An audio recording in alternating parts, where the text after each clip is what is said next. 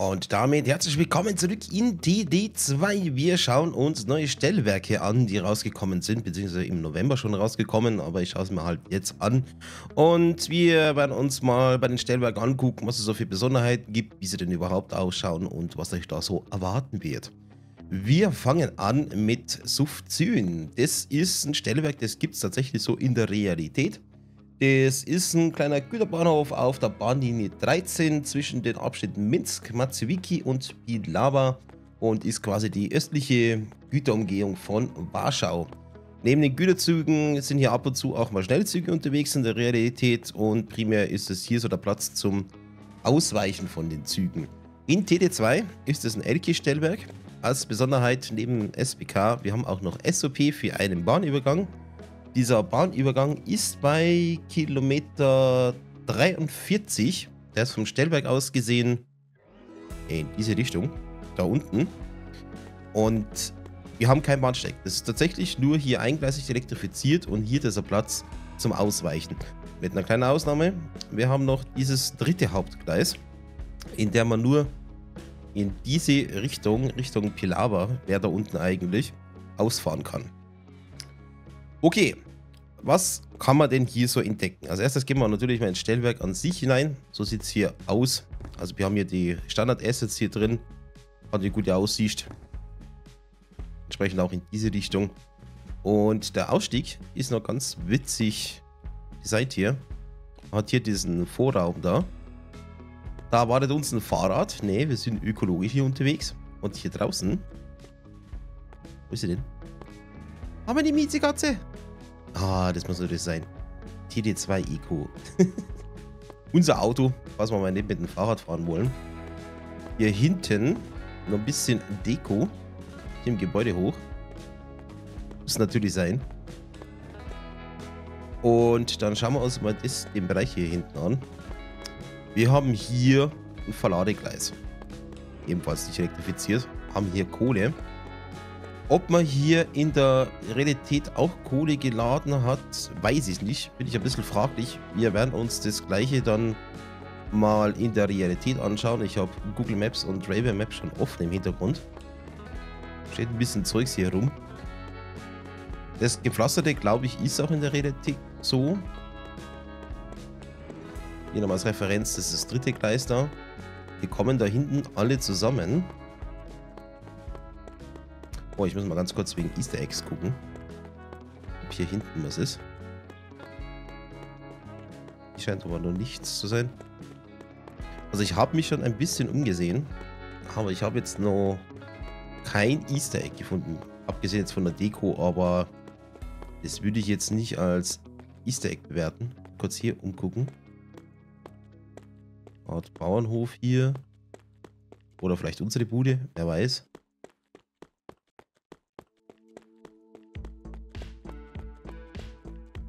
Jetzt eventuell mal ein paar mehr Gleise gehabt. Ein bisschen schick, dass die Beleuchtung hier so weit hinten ist. Also auch ein bisschen weit weg vom, vom Gehweg. So, dieses Beladegleis kommt dann hier zu dem dritten Gleis, das ist das hier, wieder zusammen. Haben einerseits hier in Prellburg und natürlich einmal da hinten, wo man dann entsprechend umsetzen kann. Man kann hier auch spawnen, einerseits beim Signal E und H und H würde ich mir gut überlegen, ob ich das offen habe, weil wenn eventuell hier Stau ist oder ihr da ständig Züge hin und her schickt, ähm, blockiert euch der Zug hier ein Gleis. Also überlegt euch das gut, ob ihr das Bahn offen habt oder nicht. Also wenn gerade Luft ist und ihr wisst, ihr braucht da keine Kreuzung, dann könnt ihr natürlich das H aufmachen. Also das nur mal so als operativer Hinweis, dass man auf das achtet. Da hinten viel weiter da hinten, man sieht es von hier gar nicht, ist dann der Bahnübergang bei 43. Wir sind jetzt hier bei Kilometer 46, entsprechend wird es hier noch nach hinten gehen. Jetzt können wir uns mal hier hinten umgucken. Und da Easter Egg-mäßig noch was finden. Nö. Sieht nicht so aus. Okay. Dann würde ich sagen, nachdem wir jetzt hier bahnhofstechnisch erstmal alles gesehen haben, schauen wir uns das Ganze doch mal in echt an. Södele. hier hätten wir die Strecke. Da unten ist Pilava, da oben ist Minsk, Massio, Wiki. Ich spreche es eh falsch aus. Hier ist Warschau. Das ist hier die Strecke da so runter. Und wenn wir hier mal reingehen, auf Süden, da ist der Bahnhof. Gut, ähm, schauen wir uns das Ganze doch mal in Google Maps an. Habe ich auch schon mal. Hier haben wir das Stellwerk. Das ist die Strecke so an sich. Also ich gehe mal ganz kurz hier so raus. So in der Umgebung. Und hier haben wir diesen Beladebereich, den wir auch genauso gesehen haben. Das hier in der Mitte, das ist das eine Beladegleis da. Und ihr seht, das ist hier alles relativ sauber. Also ich weiß nicht, ob hier Kohle ist. Hier ist noch, was auch immer das ist. Das sieht aus mehr wie so Kiessand hier. Und rein so vom optischen, ne? man könnte meinen, das wären hier alles mal Gleise gewesen, aber ich, das glaube ich jetzt nicht. Hier hinten vielleicht noch. Hier liegt noch ein bisschen so Rubbish rum. Das ist das eine Haus, was wir vorhin gesehen haben. Und dann geht das Gleis hier so rauf. Der eine Weg, den wir auch da haben. Und da oben trifft sich das. Da geht das eine Gleis hier nochmal raus. Und da oben das andere. Bis hier nach hinten. Und halt hier so der Bahnhof da. Das kleine Häuschen haben wir ja auch gesehen. Ansonsten hier in der Umgebung ist halt nicht sehr viel. Da hinten halt ein bisschen Wald. Ansonsten Landwirtschaftsbereich. Und dieser eine Bahnübergang, da ist einmal hier so eine Brücke. Und weiter hinten hier, das müsste dieser Bahnübergang sein, den wir hier steuern bei Kilometer 43. Auch da nicht sehr viel los hier. Einfach mal hier so als Referenz. Das letzte, was jetzt hier noch übrig bleibt, was wir hier bei der Szenerie tun, ist einmal in TD2 die Szenerie abfahren. Also nur mal so als Vergleich, hier so in echt. Alles so ein bisschen landwirtschaftlich eigentlich nicht sehr viel zu sehen. Bahnübergang vielleicht hier hinten noch ein paar Häuschen. Da ist mal so ein kleines Dorf hier, auch nochmal ein Bahnübergang. Und auf der anderen Seite, ja, eigentlich ganz viel nichts. Ein paar Häuschen dort, also meine Straße geht auch noch hier nochmal drüber. Wobei ist das Oh, ist auch nochmal ein Bahnübergang hier. So wie es aussieht, nicht gesichert. Aber das Bild ist einfach leider von der Auflösung her ein bisschen zu low. Hier hat es auch nochmal einen. Und dann geht es hier einmal drunter. Okay. Dann würde ich sagen, sehen wir uns gleich wieder in TD2. Ich mache mal schnell eine Lok fertig. Und dann fahren wir die Strecke einmal ganz kurz ab. So, ich habe hier mein Keyblitz erstmal gespawnt, beziehungsweise ich bin jetzt hier am linken Ende der Szenerie. Wir haben jetzt hier Kilometer 42,3 und wir fahren jetzt einmal ins andere Ende und gucken wir mal, was wir denn da so Schönes sehen werden. Alles klar, den Bremsen lösen. So, ja, ich war hier noch im Gas drin, sehe ich gerade. Das ist sehr schlau. Und Maximum Schmackes.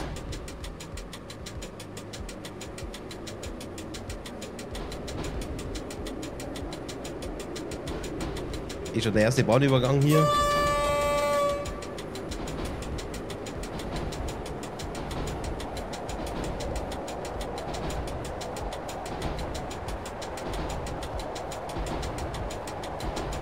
So, darf ich nur nicht vergessen, dass ich mir selber ein Set gebe und mein Counter hier nicht nach oben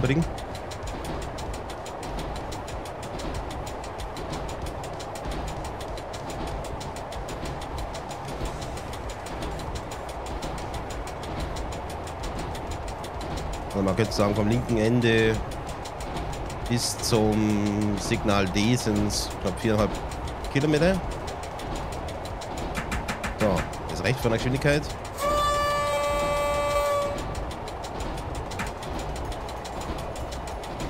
Und umschauen. Sehr viel Grün hier. War aber auch zu erwarten.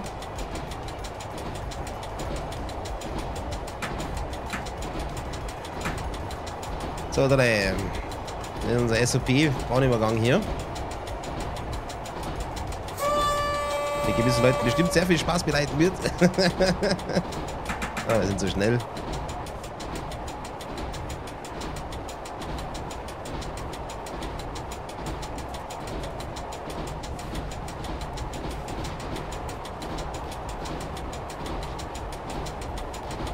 Der nächste Bahnübergang.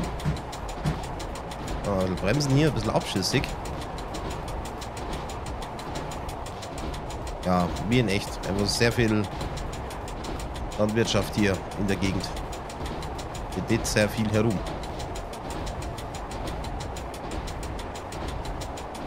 So, auch die Brücke haben wir gesehen. Und da vorne kommt dann der Bahnhof.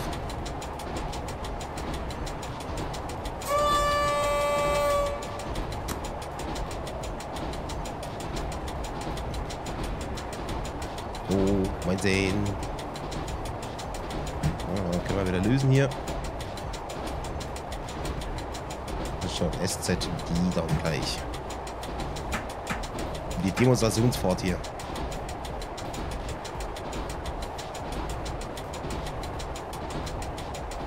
Ja, so ein kleiner, kleiner Bach hier.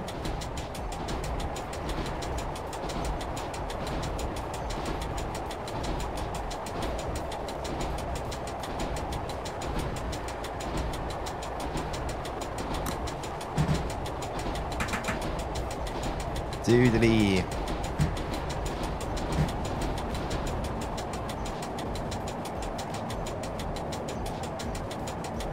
Da hätten wir unseren kleinen Bahnhof. Klein, aber fein.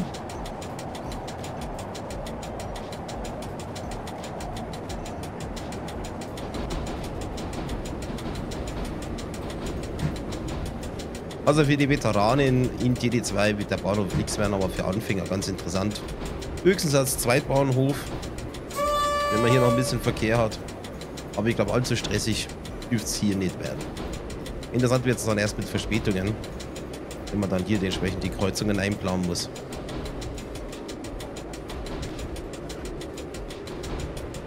Bin mal sehr gespannt, wie weit das andere Ende geht, ob man da irgendwie was ansatzweise von diesem Tunnel sieht. Aber ich wage es zu bezweifeln. Geh jetzt ja nicht zurück. Ich warne dich.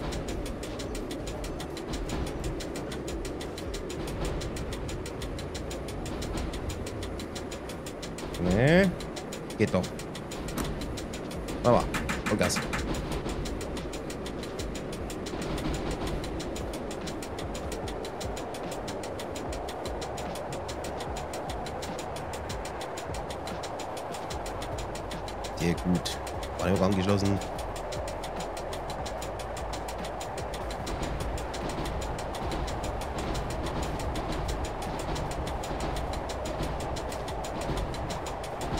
Okay, hier ist die Strecke nicht so lang. Ganz drei Kilometer.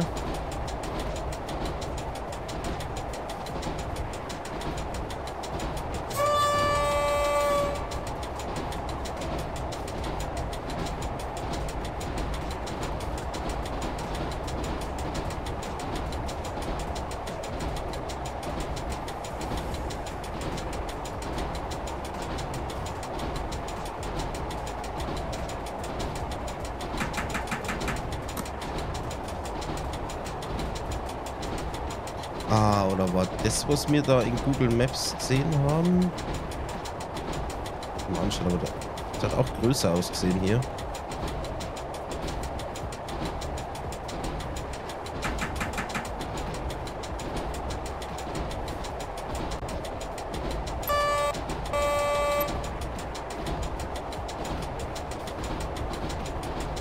Ah, ich glaube, das haben wir da gesehen gehabt. Aber cool gemacht. Sehr schick. Gefällt mir. Und dann haben wir da hinten auch schon das Ende von der Szenerie.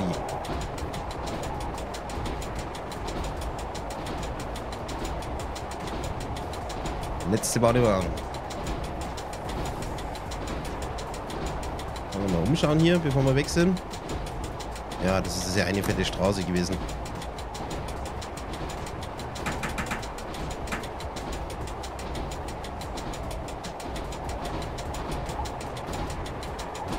Gut, dann haben wir das erstmal gesehen. Dann warte ich jetzt gerade noch mal, bis er das schnell hier fertig geladen hat.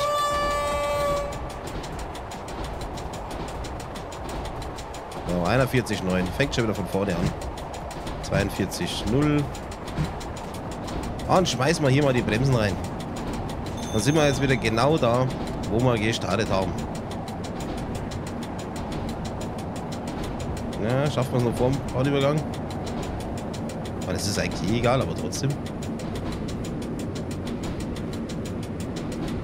Ja, ich glaube, es wird nichts.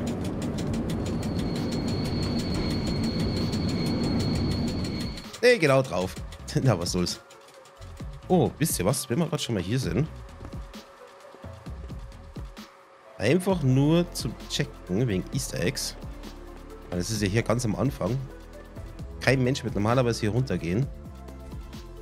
Will ich mir das mal hier kurz anschauen. Was ist jetzt nichts versteckt. Sieht auch alles normal aus. Ich meine, manchmal hat es an den Gebäuden selbst noch was dran. Schriftzug oder sonst irgendwie was. Oder eine Autornotiz. Aber ich glaube, hier ist zumindest so offensichtlich nichts. Gehen wir vielleicht mal den Weg weiter, aber ab und zu... Nee, hier ist am Ende des Wegs auch nichts.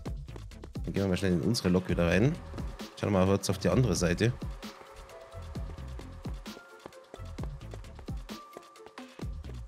Nee. Dann? Was ist das? Das ist nichts. Okay, schade. Hätte ja sein können. Hier aber auch nicht. Okay, also wenn es eins hat, dann haben wir es nicht gefunden. Vielleicht hier hinten nochmal. Mal nachgucken. Nö, hier auch nicht. Also, ja. Ich hab's probiert zu gucken. Nicht gefunden.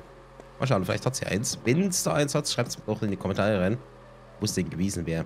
Und jetzt würde ich sagen, gehen wir ab zur nächsten Szenerie. Und da wären wir in der zweiten Szenerie, in Basilko. Das ist ebenfalls eine Szenerie, die es in echt so gibt.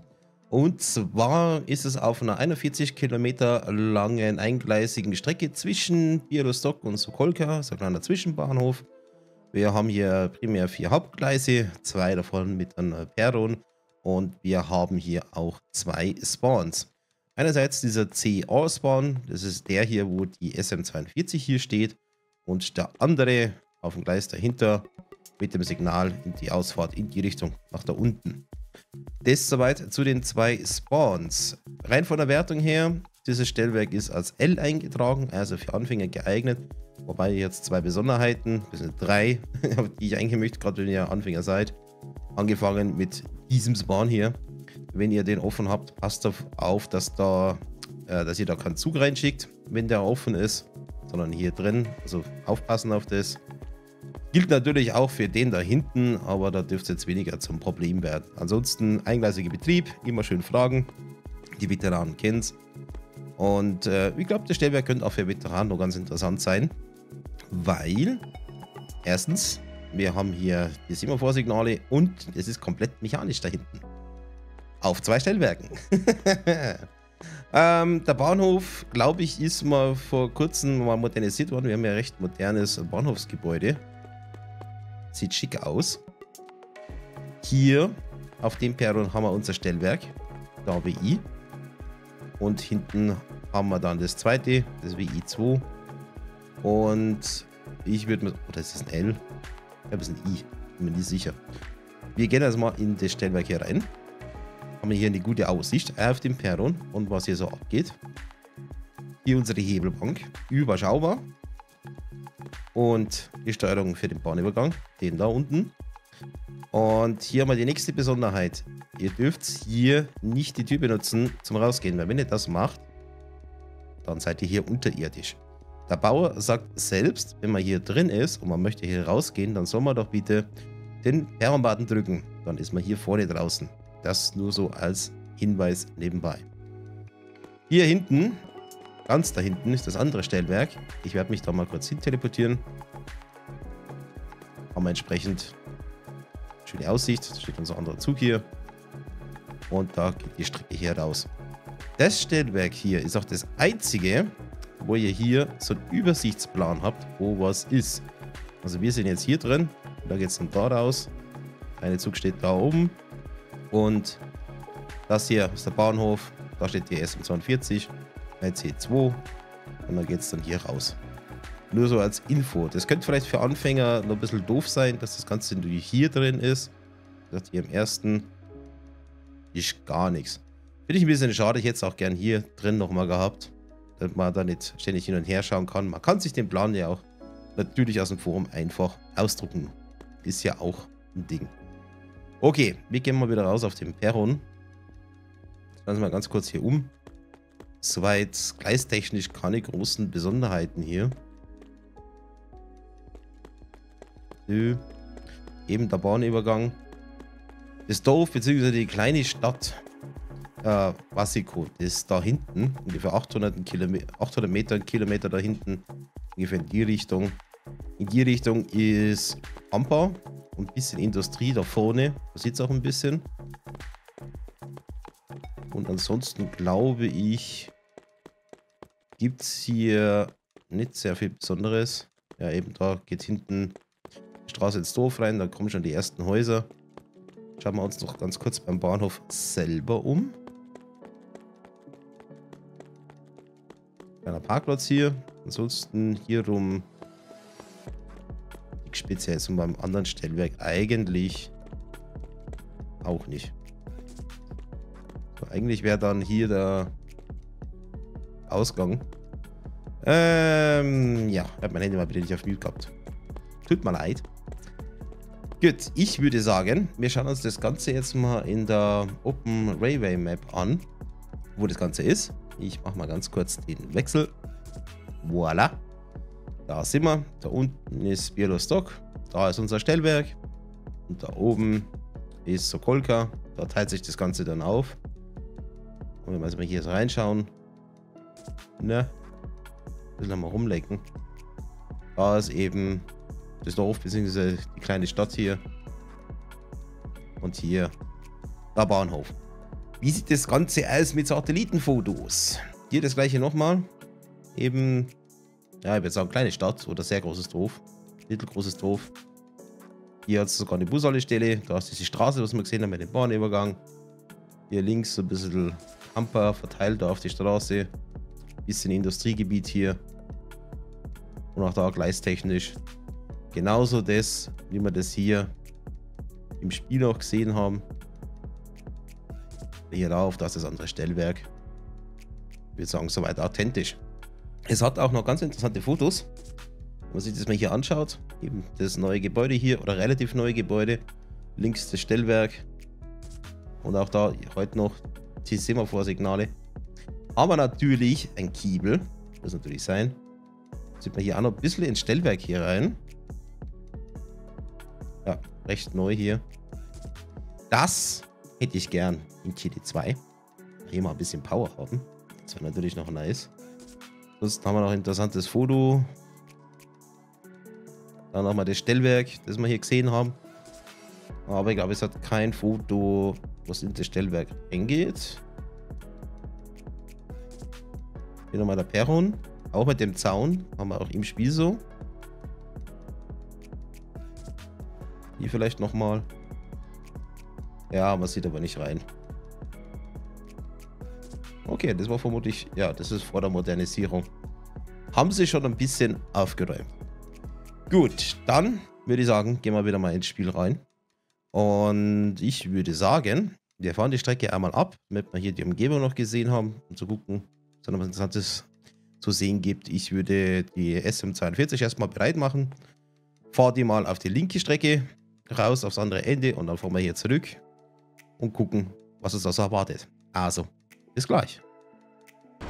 Okay, da wären wir jetzt auf der rechten Seite vom Stellwerk. Wollte auf die linke, aber ich bin jetzt hier rechts wieder rausgekommen. Angefangen mit dieser Brücke. Ich würde sagen, bremsen, lösen und wir heizen da mal durch. Schauen wir mal, was wir hier bei der Szenerie so finden. Und ich vermute mal, die Strecke ist in der Vergangenheit mal zweigleisig gewesen. So breit wie das Ganze hier ist. Ist aber nur eine Vermutung. Habe jetzt da nicht irgendwie historisch nachgesehen.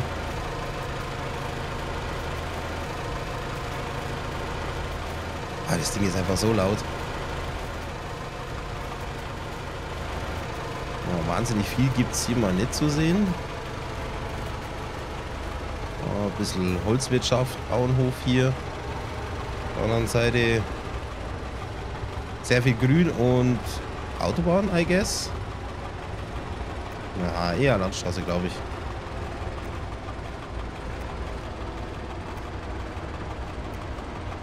Ah, Gott sei Dank, es wird leiser.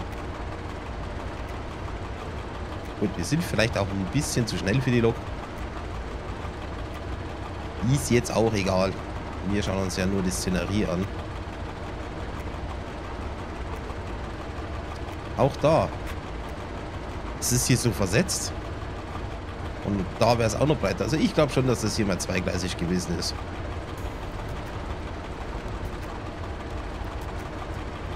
Also unser Stellwerk, die 1. Ciao. Andere Zug.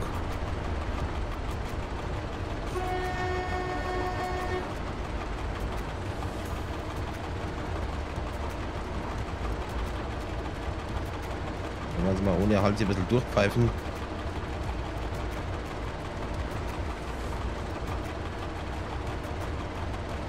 es sieht schon schön aus. Wenn man da so durchfährt. Hat schon was. Und dann geht's hier raus auf die Hauptstrecke. Grün, soweit das Auge reicht, bis in den Horizont raus. In beiden Seiten.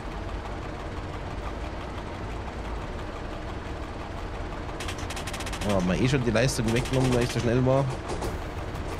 Immer ein bisschen Gas.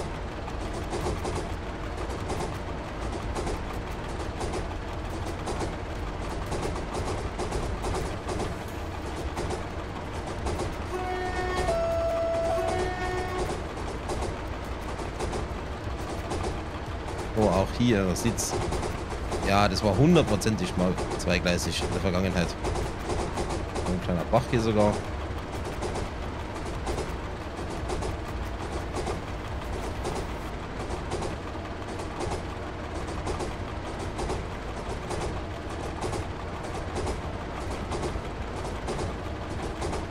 Ein sehr sicherer Badeübergang, aber das sieht eher so wie Fortwirtschaft aus. Und in zwei Kilometern ist die Szenerie dann auch schon wieder vorbei. Ja, es sind paar kleine Häuser hier hinten. Da sieht man nicht sehr viel.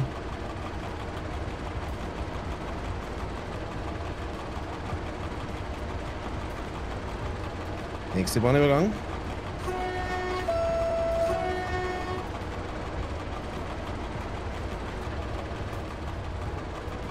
Ja, geht sogar ein bisschen noch weiter mit den kleinen Häuschen hier.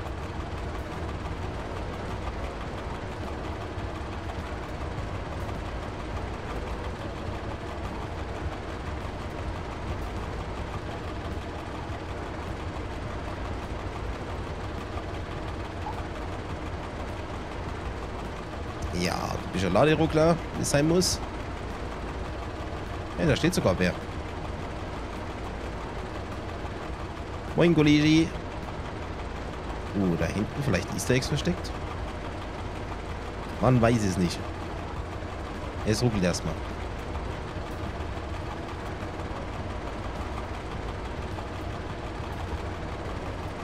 Oh, dann müsste da vorne eigentlich Brücke wieder auftauchen. Wenn er so wie beim ersten Mal gemacht hat.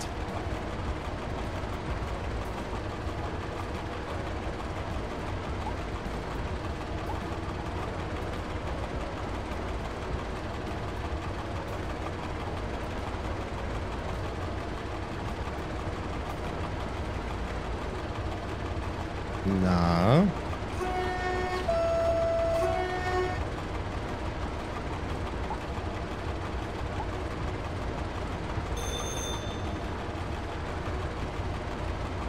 Na komm.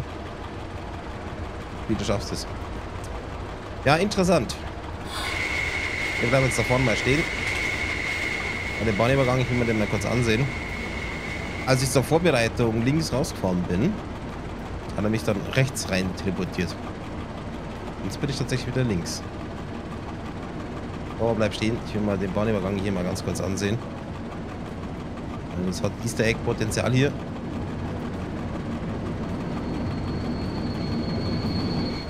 Ja, aussteigen.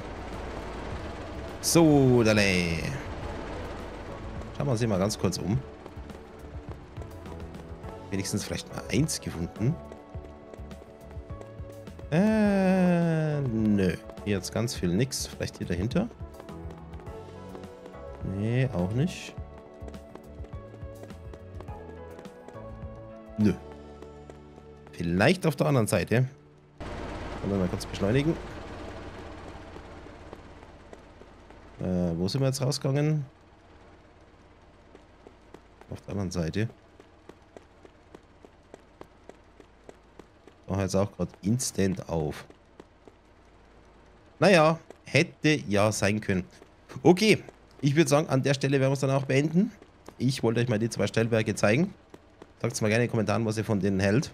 Und ob ihr eventuell sogar eins von beiden mal spielen wollt oder schon gespielt habt. Ich finde vor allem die Szenerie noch ganz interessant. Ich glaube, da werde ich vielleicht mal so eine kleine Session hier drin spielen. Bis dahin wünsche ich euch eine gute Fahrt. Ciao. Ja, liebe Leute, das ist leider das Ende von dem Video. Wie immer würde ich mich freuen, wenn ihr natürlich hier unten Kommentare reinschreibt, wie ihr es gefunden habt. Aktuelles zum Spiel findet ihr hier in dieser Play